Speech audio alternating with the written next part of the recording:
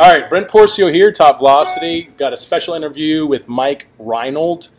I really wanted to do this interview with Mike just because he just wrote a, he wrote a great article on velocity programs and kind of their contribution into the health of arms today. And I think it creates a really good uh, uh, conversation about uh, what's the future of, of velocity and what's the best approach and what's the healthy approach. So um, thanks for doing this with me, Mike. I really appreciate it, and um, I hope we can kind of get into the nuts and bolts of this and help some kids really understand what's going. Those kids are out there that are trying to, you know, get themselves to the next level and really need good information. So I'm hoping this will be that good information.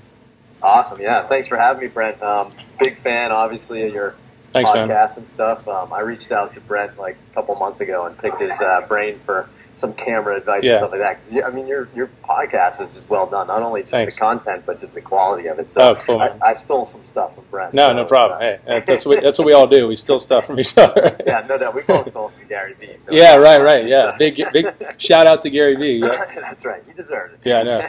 All right, cool. Uh, well, um, talk first. Talk about you. Tell, tell, tell everybody who you are. Let, fill them in on that, and then we'll go into why you did this article. Yeah, sure, no problem. Um, so I'm a physical therapist, athletic trainer, strength coach.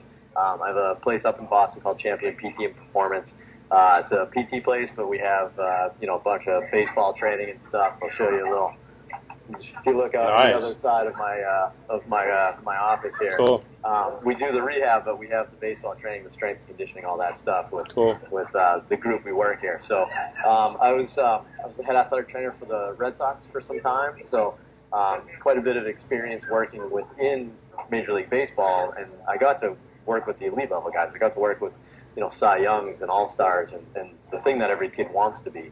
Uh, but before that, I worked for quite a while down in Birmingham with Dr. James Andrews. So um, it's a really weird combo that I have because I've seen probably, you know, thousands of, of healthy baseball players and thousands of injured baseball players. Yeah. So, and it's amazing when I went into Major League Baseball from the rehab setting, there was a lot of, you know, misconceptions I had there from just being a rehab guy that I had to kind of relearn when I got into the healthy environment, and then vice versa.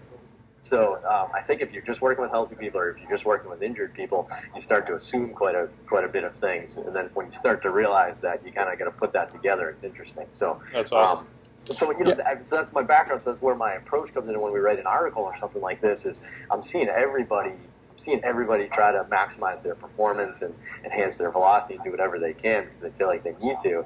Uh, but then I'm also seeing them when they break themselves afterwards. So um, I'm, you know, and I'm not saying that everybody breaks themselves, but I see that. You know, so putting that together is, you know, for me, I just I'm trying to help the kids. In all honesty. Yeah, so you're you're getting a lot of those cases firsthand. So you're not just like talking out of your butt here. Like in the article you said, it's not common for you to hear the kid say, "Hey, I gained three to whatever two to three, three to five on on a weighted ball program. But all of I've never hurt my arm before, and now I just hurt my arm. So you're saying that's that's something that's become common. Is that become common in the past five years, in the past two years, in the past ten years? I, I would say it's definitely increased in the past two, and five is probably the window where it started. But the last two, it's it's I don't want to say it's getting out of hand, but it's clearly it, it made me write that article. You know, okay, so yeah, so that's why you wrote that article. So yeah. that is that what you're what were you trying to accomplish? Like, what was your really motivation? What's your passion behind really getting that information out? I mean, is it just coming from the fact that you're kind of sick and tired of, of this, what's going on, or and are you trying to educate and, and you really need to fill that void? I mean, what what was your purpose? I, I, mean, to me, um, it, it's just like anything else. The, the pendulum is swinging right now, and the pendulum is in one direction right now, and, and we're getting carried away. We're, um, I, you know, I spent this winter. I spoke at both the Professional Baseball Athletic Trainer Society and the ASMI's Injuries in Baseball course, and we spent like no less than eight hours together at those two courses, talking about the the rise in Tommy John injuries and how we're failing and how we can't stop it, and it's just getting worse every year. Um, so it's it's it's actually getting depressing because uh, we're having more injuries. They're happening at an earlier age, and the, all these great advances advancements we're doing at both the youth level as well as even at the professional level, it's not working. So we have to figure out what's going on, and I, I, I, think what's coming down is this is the velocity error.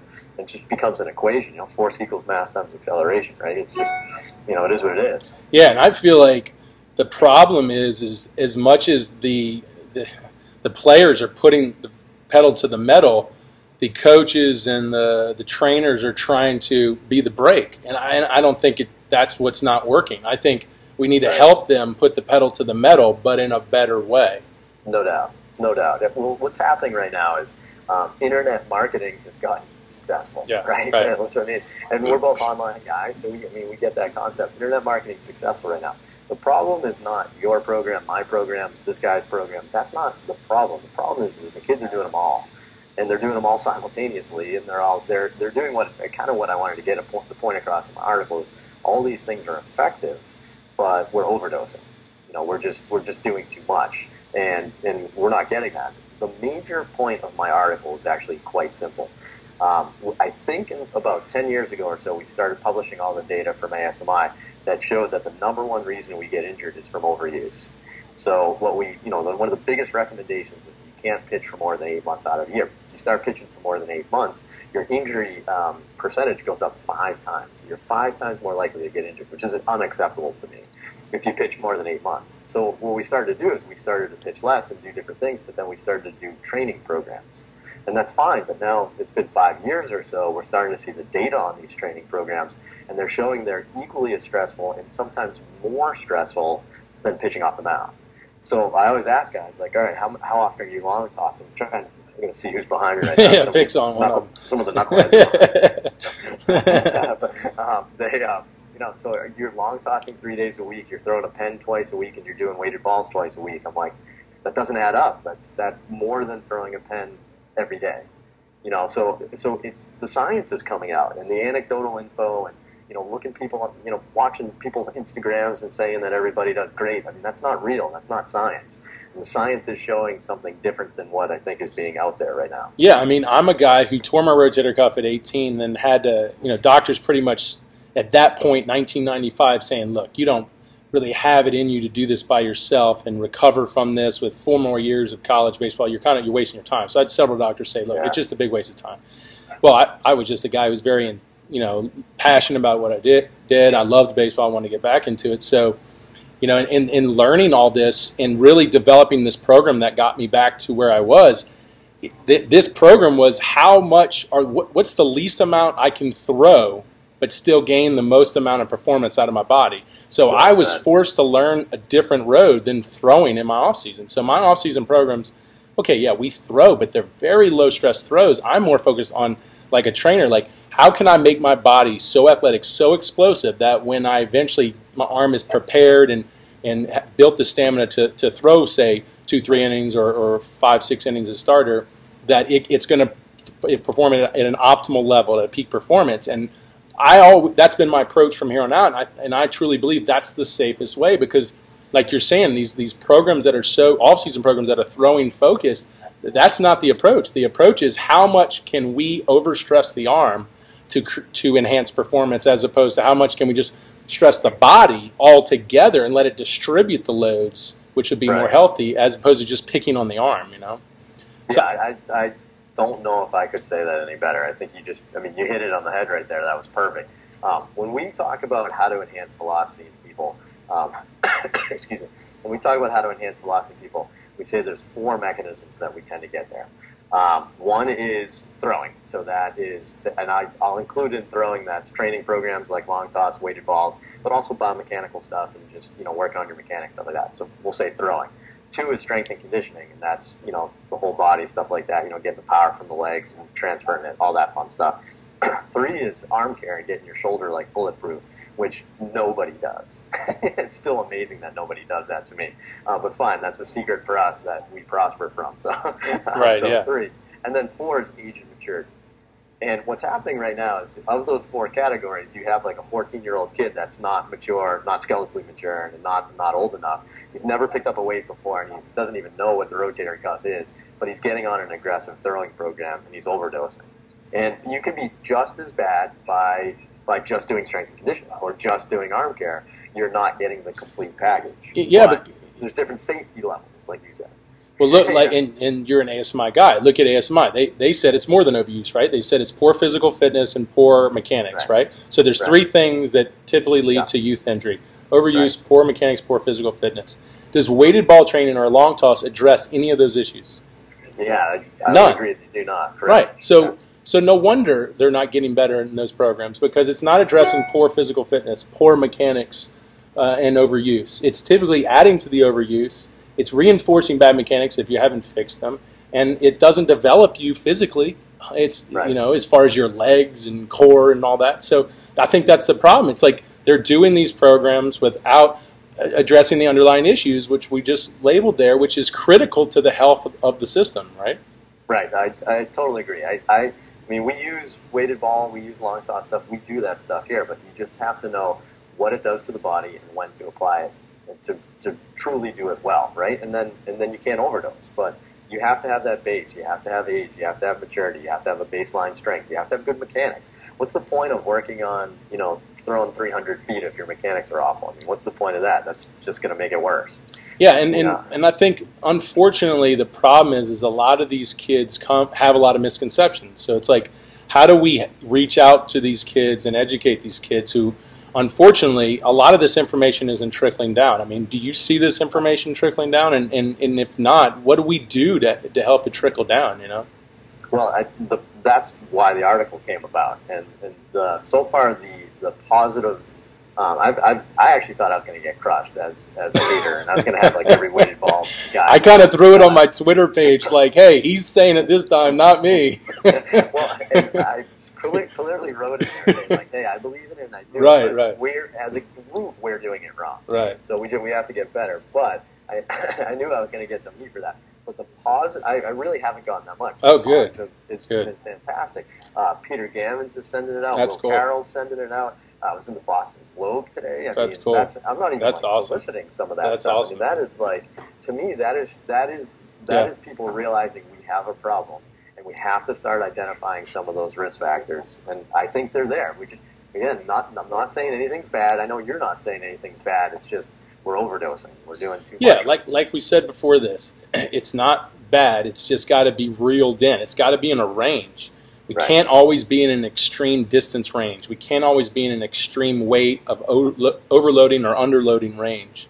We right. can't always be in even lifting. I can't have guys maxing every day. You know, uh, you know we, we've got to make sure it's all within a range. It's all customized to the athlete and helping them progress uh, healthy, effectively uh, to their goals, and not trying to jump. And I think that was the coolest thing you were talking about. Is like the problem, it sounds like, with doing an extreme weighted ball approach is that it's almost forcing you to the end result too quickly, and then it's causing the body to unravel. I mean, that's what it right. sounds like, right? Right. And I, I would say we we rarely see injuries during the weighted ball program. We do, and, and, and let's just call them velocity programs because there's other methods out there too. I don't right. want to say okay. I'm so down okay. on weighted balls, but just on velo programs, um, we, we, we, we see problems. We see things pop up that we think are from that, but who knows? That guy might have broke down just throwing pens with their coach. Who knows?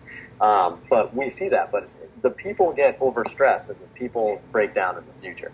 So Dr. Fleisig always kind of said this really well when we talk about overuse in Little League. Um, it's not you're not going to get a bunch of kids at 10 years old that get hurt, but what you're doing, it's like you're giving them a pack of cigarettes every day, and then you know they're not going to get lung cancer when they're in Little League, but the, you know down the road they're just they're taking some tread off the tire, and you know that's how it well, is. I interviewed Jim Morris from the movie The Rookie a long time ago, and he's you know he had nine arm surgeries. I don't know if wow. anyone knows that. Yeah, that's, that's crazy. I think that's more than you.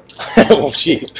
And then uh, Dr. Jobe, I think, did his fifth one, and Dr. Jobe, I think it was Dr. Jobe who told him this, said that, you know, Jim, most of the damage you did to your arm, you did before you were 15 years old. Right. And I think right. that's your point exactly.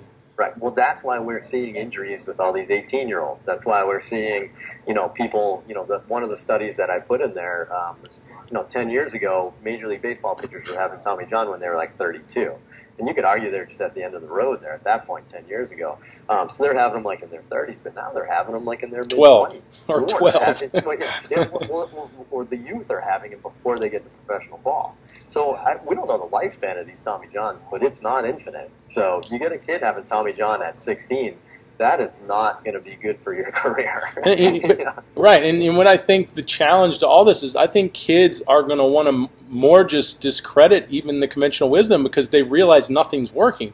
So unfortunately, I think we're going to have chaos before we have some type of plan or focus to improve on this because I think Right. everyone's just going to be like, well, you know, there's no proven method. Everyone's getting hurt and and just do whatever. And I think that could be where we are. Like you said, everyone's doing everyone's Yeah. program. So I mean, what's it going to take till? I think it's going to take from the top, Major League Baseball, you know, putting it out there and showing it, it's being implemented into their organizations that we have protocols and we're having success. I think once one team shows that we have a protocol and we have success, I think everyone's going to start to follow. Right. Well, I mean, let's go back in history, right? So, what's probably the greatest rotation of all time? Maybe I'm dating myself here because I don't. Maybe there was an awesome rotation in the 30s that I don't know. Yeah, the. Braves, right? The Braves, right? You know what the Braves did in between starts? What? Crap. They like did nothing. Nothing. Yeah, they played golf. They uh, they yeah, they really did. Um, they didn't even throw pens a lot. So I got to work with Smoltz, and that was kind of some of the big things we talked about. Was like, look, man, you've been one of the most successful people. You know, what's your secret and stuff? Doesn't throw a lot of pens. You know, they're throwing a lot of flat ground, just playing catch. Nobody long tosses. Nobody's throwing weighted balls like that. That's some of the most successful rotations ever. So um, we're not seeing these programs implemented at the major league level.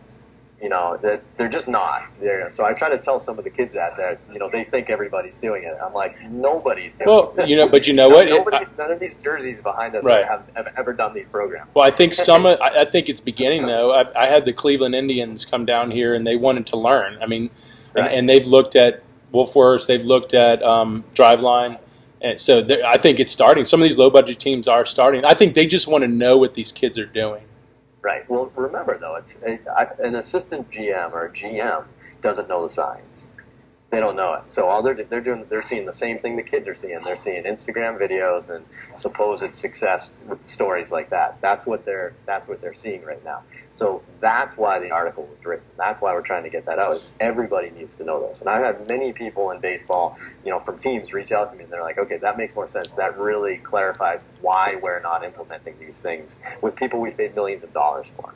Okay, so I think the best thing to do now, let, let's just give them a good understanding of what they're doing, the ranges they need to be careful with, and, and kind of maybe give them some value out of this. So, like, can you talk a little bit about what you're doing with, uh, with, with you said some case studies and, and what, what uh, information is coming out of that, and, and what are you seeing is going to be a healthy approach um, in these kind of training protocols? Okay. Well, I, I'd say the number one thing we're seeing that I think people need to know about weighted balls right now is that it's changing people's physiology. It's changing their anatomy right now. So what I mean by that, we're in the middle of probably about three studies that we're in different phases with here at Champion, where we're looking at stuff like what happens after a six-week program, what happens immediately. I want to know what happens right when you get off. So we looked at that with major league players. We said, okay, the second you get off the mound, you've lost internal rotation, you've lost elbow extension. We published that stuff. Now we want to do the same thing. We know pitching, you lose motion. My hypothesis, what I'm thinking with weighted balls, is you gain motion. And that's what we actually started showing. We're still analyzing the data, but people are gaining external rotation. So when your layback goes up, your velocity goes up. That's just a fact, right? But if your layback increases over six weeks, I would be very nervous. like that's not healthy. So you're You know, overstretching your rubber band, you know? It's and and and that's saying it nicely. Over six weeks, the, the, your layback comes from one real thing. It's your bone adapting when your growth plates are open. You have a torsion of your bone when you throw as a kid. Over a six week period, you're not your muscles are not getting longer, right? In fact, your muscles are getting tighter, and you still gain range of motion. Your bone's not torquing in six weeks. So the only thing to go now is stuff like your capsule, your labrum, your rotary cuff, and those are all things you don't want. That's what you and I, no offense, call the kiss of death, right? Sorry, I know you're a shoulder surgery guy. Yeah, right. Yeah. that's that's the kiss of death right Yeah, right. Is, is when you have an anterior shoulder injury. Mm. Um, I'd much rather you hurt your Tommy John than Yeah, no, shoulders. the- It was. I after I came out of the surgery, I knew why they said I'd never play again. It was a nightmare. Yeah, you, I mean, you get to like right here. You're Yeah. like, oh God, I'm never going to get a layback again. Yeah, and then Um, not only that, when you start throwing again, your body doesn't want the stress. I mean, it doesn't. You, you almost throw up when you start to feel it again. You know. Right. Yeah, that's uh, again, you said it well. So, um, so that's what we're seeing. I mean, for me, I think the biggest things we can do here is look. All these things are effective because effective means do they enhance velocity? Yes, they enhance velocity. Of course they do. I think that's good. We've known that for two decades that these things uh, advance. Uh, but I mean, is that, that, good velocity? If it's that transfer of training, I mean, are those are those positive increases in velocity, or are we getting so many negatives with it? It's not good velocity. I mean, that's my question. Right, and we and we still don't know yet. This is we're starting to expose that, and I'm I'm honestly, I think it's, it's, I don't want to say pessimistic, but we're starting to see a lot of like, hey guys, pump the brakes. This might not be as perfect as we think it is. Um, it can be effective, but we don't know how safe it is just yet. And, and, just like anything else, I mean, everything's effective to an extent, right? If you've never lifted a weight before and you start deadlifting, you're going to go up. But if I'm going from 185 to 305 300, yeah. deadlift, yeah, and you pull I mean, and you slip a disc, yeah. But even even if I do that, I mean, just I go from 185 to 300, and I I'm gonna get like a big jump in, in velo from that. My return from going from 300 to 500 yeah, not it's not going to be as big. Yeah, right. no. So, and that's that's what we're seeing. So now we get the kids. They do a six week program. They're like, all right, I gained two miles an hour. Let's do it again. Yeah, right. let's go. Let's go. Ahead. right, go exactly. You know, it's like, yeah, if that, if that got me two miles, if I do it again, I'll get four miles. Right. You know, so that's our real problem. What we need to start scaling back on. Um, I would never do any of this stuff in a skeletally immature person. And I actually don't know anyone on the internet that that talks about these programs that would either. So that's a compliment to everybody out there. On a skeletally immature person, the number one thing that you do to gain velocity is get a baseline of strength, and then in all honesty, play catch. That's it because you, your bone needs to torque when your growth plate's open. So just play catch, and that happens. You know, I'm working on that with my seven year old right now. Yeah, like just play catch. Yeah, and you know, and I like you know from the uh, the Olympic approach, being a USA weightlifting certified coach, and you know Matt Bruce is a good friend of mine. He's an Olympian, and he made this talked about how you know if you took two guys, say they're both twins and they're identical, and this one you just focused on how much performance he could push out in, in weight training. Yeah, this guy might get to you know you know one, two, or 120 percent of his body weight before this guy. But if you sat this guy here and you trained him technically and you did base level strength training and, and, you, and you prepared the body for for you know the improvements taking off, and then you started to build in or started push him through the lifts and through the weight, through the loads, he would blow past this guy and far exceed this guy. And I really think that's got to be the approach in anything you do. If you're if you're doing right. a throwing program, if it's got to be a technical base that has to be established first. So then right. you can build the stress on that technical base because that's a more efficient system that can distribute those loads better and more than likely not only go up higher in performance just because of the potential of, of, of making those gains, but also because the body's healthier and will allow that to occur more. Absolutely. It comes back to those four things age maturity, throwing, strength, arm care if you're if you're out of balance and you're putting all your eggs in one basket, it's not going to work well. You have to add them there, and you have to realize that that foundation needs to happen first. And You said it perfect. There's no point on getting on these aggressive advanced programs if you haven't put the work in for the foundation. There's no shortcuts in making you know making the big leagues, pitching for Vandy, whatever it is that your goal is there. There's no shortcuts. You have to put that baseline in. I, I have kids working with me now that are, you know, 12 years old that have stronger shoulders than some of our college kids because they've been putting effort into it. And the college kid just, he was the gifted kid in his town that never had to work for it. And now all of a sudden he realizes if I'm going to make it to that next level, I got to start working for it. Yeah, and that's the, the other big problem here. And I think that's why we're in this position as well is, is unfortunately these kids don't want really want to work in baseball. I feel like unfortunately, it's how they chose the sport of baseball. They were like, you know what? I, I don't want to play football. I got two a days. Uh, I don't want to do soccer. I got to run, you know, the field. I don't want to do basketball. I got to do suicide. Uh, I'm gonna go. I'm gonna go play baseball. I mean, yeah. unfortunately, I feel like we initially choose the sport because of that. I mean, that wasn't me. I was a multi-sport athlete, but right. but because of that, you get these mentalities of like, oh wait, you know, like my programs. Wait, I got to become an Olympic lifter, and I got to a 1.3 power to weight ratio, and then I got to learn all these biomechanics. These are so complicated. Well, yeah, right. I'm going to go and, and find something easier. Uh, do you feel like you see that as well? These kids are just looking for the easy road, and that's what's making them fall into these risky programs? Yeah, I mean, it's it's everyone's looking for the path of, of least resistance. you know, that's that's what it comes down to, and it's you know, I mean, look, you, you, can you go to the gym and work your tail off for three months. It's fantastic. Then you go in season, you stop working out because you're an idiot. And you don't do in season training, and then all of a sudden you're, you lose you're weak again, yeah. and you're like, oh crap, I got to start over again.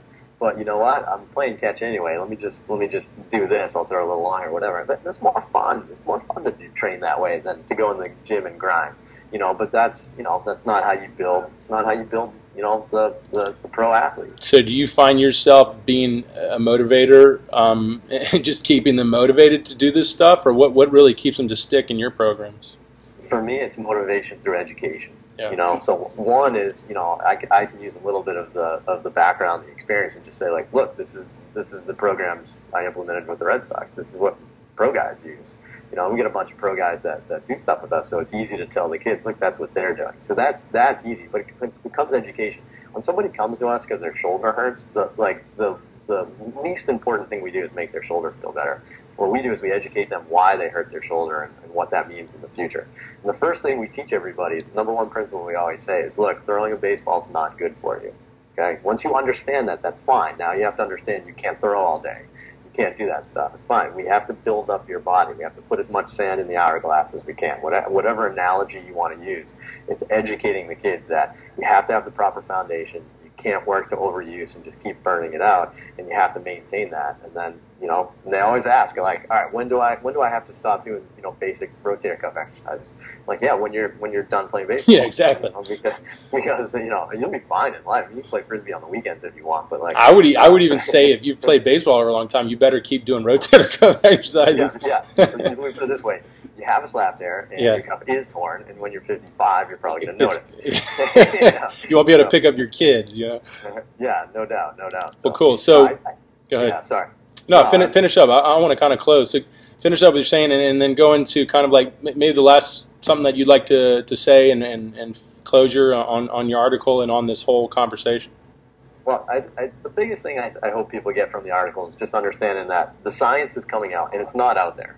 People tell you that the science is out there right now. It's not out there. Anything that's being done on the internet now is, is anecdotal information. That's not real science. So the science is. So you're talking about science on what? Can you be specific to like what specific science? like meaning like I want to see studies that show the exact stress that's happening on my ligament from the result of doing this. Not anecdotal stuff. Not like one guy that can do a 102, uh, you, you know, run gun. That's not science. That's anecdotal information. We have to see the science, and we have to see short term and long term. So it's not just okay. What's your immediate gains, or what's your long term ramifications for doing this? You're gaining velocity, but at what cost?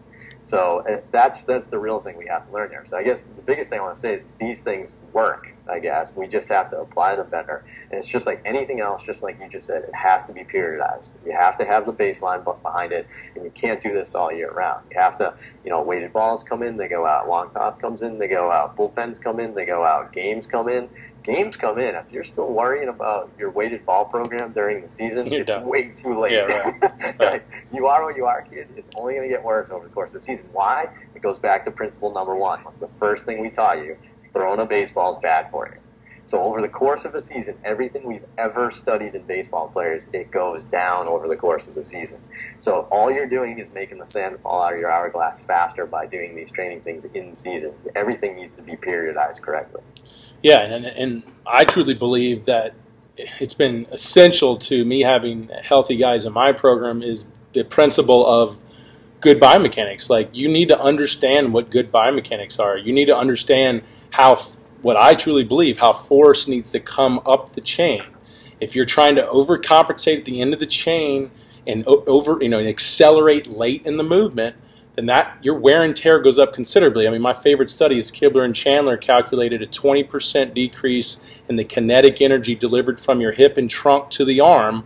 A 20% decrease there requires a 34% increase in the rotational velocity of the shoulder just to keep the same force on the hand. So if if you're not doing a good job in your training and you're and you're throwing in your biomechanics to get the force up the chain, then you're going to overcompensate, and over time, it's going to be harder to survive that. Specifically, if you're trying to push for more velocity and you're just cranking it up harder every day.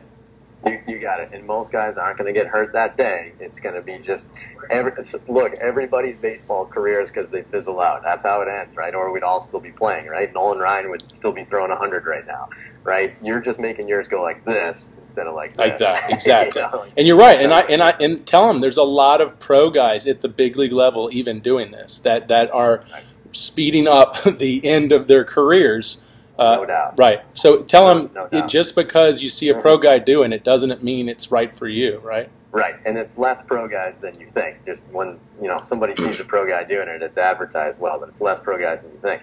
You know, the, now the generation has changed now. But when I first started in pro baseball ten years ago, we asked everybody. We talked. We talked about these things. We said, "What do you do?" And most of these guys were shortstops. Most of these guys were shortstop, center fielders. You know why? That's the best athlete. They're We athletes. Exactly. So they're the best athletes. That's it. Did you pitch a lot in high school? Like, no. I Yeah. mean, yeah, there's there's some Josh Beckett's in the world that Yeah. like you know was the number one pitcher of Texas or whatever, you know, that type of thing. But like it's it's you know most guys didn't, and and that's an interesting thing. I think you know worry more about becoming you know the best athlete you can be, and, and let the other stuff work itself out. I guess you know don't push the envelope until you've run out of. If you've maximized all those other buckets, push the envelope. But until you have, don't push the envelope. Does that make sense? Uh, That's awesome, man. I think we'll close with that. So I appreciate it. Thanks for giving us your time and your busy schedule. Um, what's your Twitter handle? I'm giving some things to find you. Um, what, Yeah, sure. Just my name, just at Mike Reinold. That's uh, M I K E R E I N O L D, and that's my website as well, just MikeReinold.com. So, Okay. um, bunch. I have a ton of baseball content on there, so um, tons of tons of stuff on there. Check Cool. it out. I appreciate it. Hey, man, I really appreciate it and a great article, and I hope this information gets out, and uh, we'll keep collaborating on this. I'd like to hear when your more of your case studies come out, so keep me on your list, all right? Yeah, sounds good, Brent. Thanks Hey, for man. having us, man. Yeah, we'll talk soon. Take it easy. See you.